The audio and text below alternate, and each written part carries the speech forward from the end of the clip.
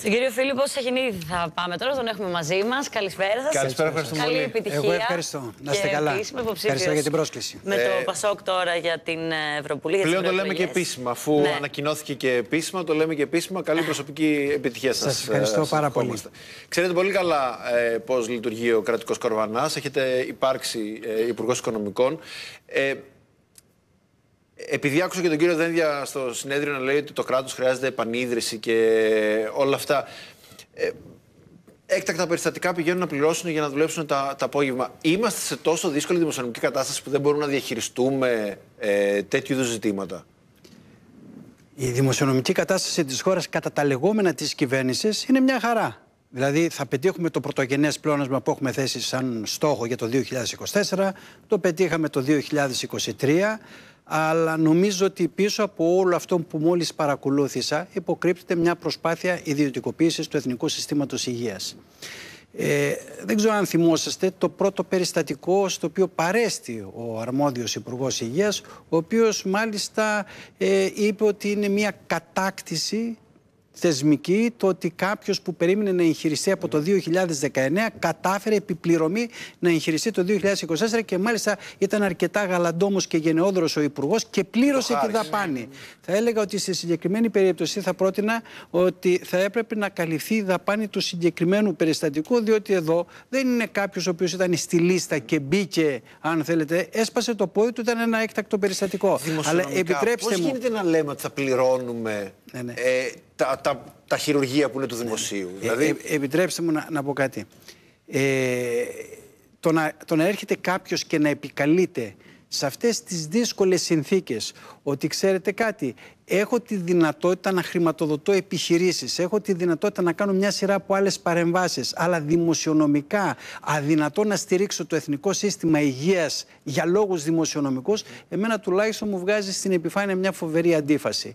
Και λέω ότι τελικά το τι δίνεις και το τι δεν δίνεις είναι ζήτημα αρχών, αξιών και προτεραιοτήτων. Έχει να κάνει με το αν πιστεύεις ότι πραγματικά το Εθνικό Σύστημα Υγείας είναι ένα σύστημα το οποίο παρέχει ποιοτικές και το τονίζω το ποιοτικές υπηρεσίες υγείας στους πολίτες ή αν θέλεις σιγά σιγά να εκχωρήσεις ένα σημαντικό μέρος από τις αρμοδιότητες ή αν θέλετε α, από τα όσα γίνονται μέσα στα νοσοκομεία σε ιδιώτες και με αυτόν τον τρόπο να προχωρήσουμε στη μερική ιδιωτικοποίηση του Εθνικού Συστήματος Υγείας.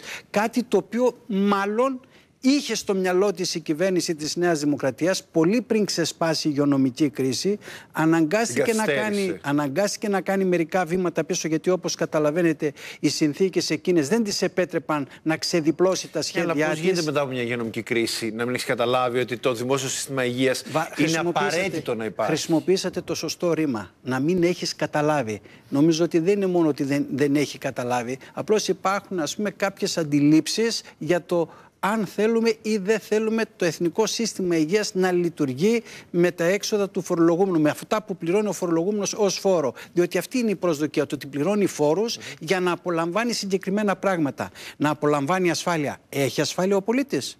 Δεν το βλέπω από τα περιστατικά που παρακολουθούμε. Να απολαμβάνει ποιοτικές υπηρεσίες υγείας. Από αυτά τα οποία είδαμε μόλις προηγουμένως, δεν φαίνεται να υπάρχει ούτε καν αυτή η πρόνοια. Και βεβαίως να υπάρχει παιδεία.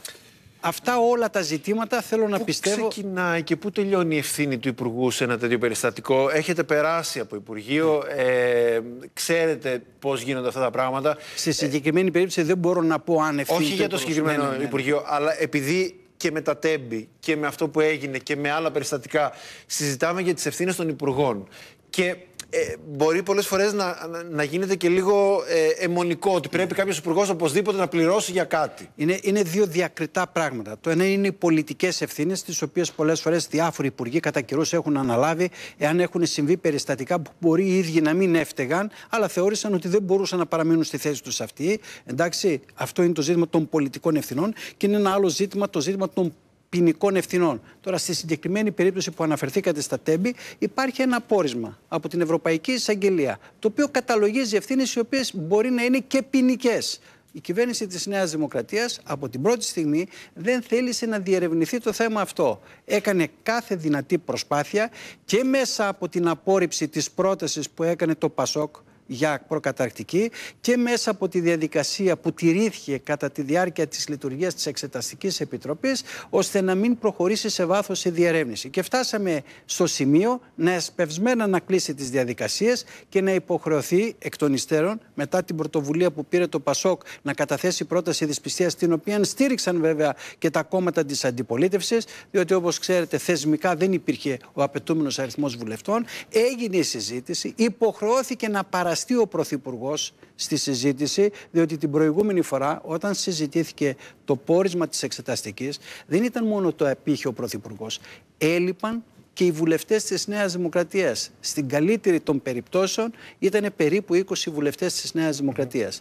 Άρα εδώ χρειάζεται πραγματικά να δούμε πότε υπάρχουν και αν συντρέχουν λόγοι να καταλογιστούν ποινικές ευθύνες σε κάποιον υπουργό για λάθη ή επιλογές που έχουν γίνει και πότε συντρέχουν πολιτικές ευθύνες. Πολιτικά είναι δεδομένο ότι η πρωτοβουλία του Πασόκ που ε, αγκαλιάστηκε από τα υπόλοιπα κόμματα της. Ε, και οδήγησε και σε συγκεκριμένα αποτελέσματα. Ήταν δύο, πετυχημένη. Δύο από τους πιο στενούς συνεργάτες του Πρωθυπουργού που μένουν στο ίδιο κτίριο, μέσα στο Μέγαρο Μαξίμου, μένανε και οι δύο. Και έρχεται ο Πρωθυπουργός και εγκαλεί το Πασόκ ότι εκπροσωπεί οικονομικά συμφέροντα και την ώρα που ο Πρωθυπουργός της χώρας κατηγορεί το Πασόκ για την πρωτοβουλία που πήρε και το εγκαλεί ότι εκπροσωπεί οικονομικά συμφέροντα, οι δύο από τους στενότερους συνεργάτες του ήταν εκείνη την ίδια ημέρα σε μια. Τον αναγκάζεται και μαζί με τη δημοσιογραφική έρευνα να, να, ε, να διώξει δύο πολύ στενούς συνεργάτες του. Δεν σας ανησυχεί το γεγονός ότι αυτό δεν το είδατε να αποτυπώνεται στις δημοσκοπήσεις, τουλάχιστον στο πρώτο κύμα; Να σας πω κάτι. Οι δημοσκοπήσεις έχουν μια δυναμική. Η δική μου η άποψη είναι ότι εμείς θα πρέπει από εδώ και πέρα, μετά δηλαδή και την πρωτοβουλία που πήραμε για την κατάθεση της πρότασης δυσπιστίας, να συνεχίσουμε να δουλεύουμε με την ίδια σταθερότητα και να δείξουμε στους Έλληνες πολίτες ότι η χώρα χρειάζεται μια ουσιαστική αντιπολίτευση απέναντι στις επιλογές της Νέας Δημοκρατίας. Και μια τέτοια, αν θέλετε, επιλογή ήταν η απόφαση του Πρόεδρου του Πασόκ, του κ. Ανδρουλάκη, να επισκεφτεί σήμερα τον κύριο Ράμο, να του ζητήσει να ενημερωθεί διότι η νομοθετική πρωτοβουλία που είχε πάρει η κυβέρνηση της Νέας Δημοκρατίας, όπως αποδείχθηκε από την απόφαση του Συμβουλίου της Επικρατείας, ήταν παράνομη.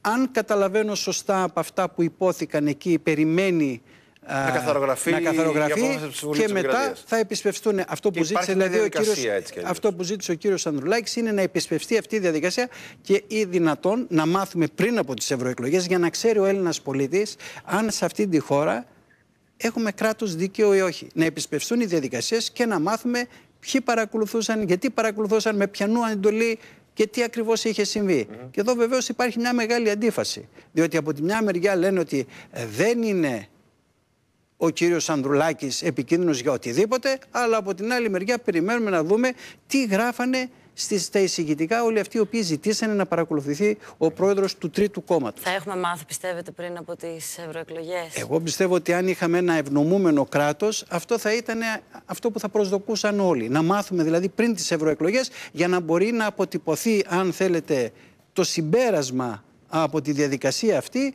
και ε, πριν τις ευρωεκλογές και να το αποτιμήσουν οι Έλληνες πολίτες και όταν προσέλθουν στις κάλπες να ξέρουν. Ο στόχος τώρα για τις ευρωεκλογές ποιος είναι για το Πασόκ; Και μιλάω με νούμερα. Εγώ βάζω και θεωρώ ότι εμείς στο Πασόκ θεωρούμε ότι είναι απαραίτητο πρώτα-πρώτα να αυξήσουμε το ποσοστό συμμετοχής των πολιτών. Θεωρώ είτε της πολιτικής είτε της κοινοβουλευτικής δημοκρατίας ότι στις εκλογές του Ιουνίου του 2023 το ποσοστό συμμετοχής ήταν το δεύτερο χαμηλότερο από το 1974 και μετά. Και αυτό δεν είναι κάτι που αφορά μόνο το ΠΑΣΟΚ, αφορά όλα τα κόμματα. Πρέπει να προβληματιστούμε τι είναι αυτό που κάνει τον πολίτη να θεωρεί ότι ξέρεις καθημερινότητά μου δεν επηρεάζεται από το τι θα πάω να ψηφίσω. Θεωρώ ότι όταν δεν πας να ψηφίσεις, επιβραβεύεις τη Νέα Δημοκρατία, επιβραβεύεις την κυβέρνηση το και ένα τις πρόβλημα πολιτικές. είναι αυτό. Το άλλο πρόβλημα είναι ότι ενώ αποδεδειγμένα από τα ποιοτικά στοιχεία των uh, δημοσκοπήσεων φαίνεται ότι ο κόσμος έχει πολύ μεγάλα ζητήματα που θέλει να αντιμετωπίσουν και ζητήματα που είναι στην ατζέντα σας. Δεν είναι ζητήματα ναι, ναι. που είναι εκτός ατζέντα σας. Ε, δεν υπάρχει δυναμική Ε, ούτε επιτρέψτε σε μου- εσάς ούτε Ναι, ναι. στο ΣΥΡΙΖΑ. Επιτρέψτε μου λοιπόν να πω το δεύτερο στόχο. Σας είπα τον πρώτο που είναι γενικό και δεν αφορά μόνο το Πασό και πάμε στο δεύτερο, στον ειδικό στόχο. Ο δεύτερος είναι να λυθεί αυτό το πρόβλημα που αποκαλώ εγώ του θεσμικού ελλείμματος. Κατά τη δική μας άποψη, του Πασό κινήματος αλλαγής, ουσιαστικά η χώρα λειτουργεί χωρίς ισχυρή αξιωματική αντιπολίτευση. Και σας το λέω αυτό διότι τα αποτελέσματα του Ιουνίου 2023 έδωσαν στο ΣΥΡΙΖΑ τον τίτλο τυπικά της αξιωματικής αντιπολίτευσης αλλά δεν έχει ούτε τη δυνατότητα αλλά ούτε τη θεσμική αν θέλετε δυνατότητα να καταθέσει μια πρόταση δυσπιστίας και δεν μπορεί να ελέγξει καν την κυβέρνηση και από ό,τι φαίνεται έχει τα δικά του εσωτερικά ζητήματα. Εμείς λοιπόν τι λέμε; Για να μπορέσει η χώρα να λύσει αυτό το θεσμικό έλλειμμα για να μπορέσει η δημοκρατία μας να είναι πραγματικά μια δημοκρατία υγιής θα πρέπει να υπάρχει απέναντι στα πεπραγμένα και στις επιλογές της Νέας Δημοκρατία μια ισχυρή αξιωματική αντιπολίτευση. Διότι εδώ έχουμε ορισμένα περιστατικά τα οποία πρέπει να μας προβληματίσουν. Περιστατικό πρώτο, οι υποκλοπές στις οποίες αναφερθήκαμε. Περιστατικό δεύτερο, διαρροή προσωπικών δεδομένων του- των Ελλήνων του εξωτερικού.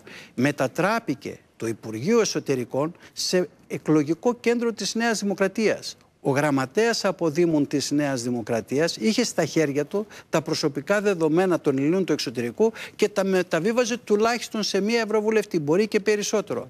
Και βεβαίως έχουμε και το ζήτημα της στάσης στη διερεύνηση της τραγωδίας των Ντεμπών. Από όλα αυτά τα ζητήματα λέω, εάν απέναντι στη Νέα Δημοκρατία υπήρχε μια ισχυρή αξιωματική αντιπολίτευση θα είχε το θράσος να συμπεριφερθεί με αυτόν τον τρόπο. Ναι. Επειδή δεν υπάρχει λοιπόν ισχυρή Κλείνοντας, αξιωματική... ε, είναι και δική σας ευθύνη το Ναι, ότι ναι. δεν είναι. Γι' αυτό λέω- δηλαδή, δεν είναι ότι εσείς κάτι έχετε και δεν το βλέπει ο κόσμος, φαντάζομαι. Απλώς εγώ αυτό το οποίο λέω, εμείς έχουμε παρουσιάσει και παρουσιάζουμε καθημερινά τις προτάσεις μας, είτε έχουν να κάνουν με την ακρίβεια, είτε έχουν να κάνουν με το πρόβλημα της κοινωνικής στέγης. Βλέπετε, η Νέα Δημοκρατία στην αρχή είχε περιορίσει τα ποσά που δέσμευσε για, για κατοικίες μέσα από το Ταμείο Ανάκαμψης και Ανθεκτικότητας. Όταν άρχισε να συνειδητοποιεί τη βαρύτητα της κριτικής που άσκησε το Πασόκ, άρχισε να λέει ότι θα κάνω, αν θέλετε, ας πούμε, περισσότερες κατοικίες. Όταν το Πασόκ άρχισε να κάνει κριτική για την χρυσή βίζα, αναγκάστηκε να αναθεωρήσει, διότι ανέβηκαν και εκτινάκτηκαν οι αξίες των ακινήτων,